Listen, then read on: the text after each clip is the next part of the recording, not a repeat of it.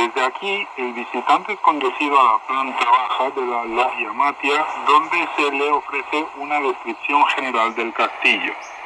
Después entra en la cocina de la guarnición y luego a una terraza que defiende el puente desde donde se abre una generosa vista del patio de los húsares y de los alrededores del castillo.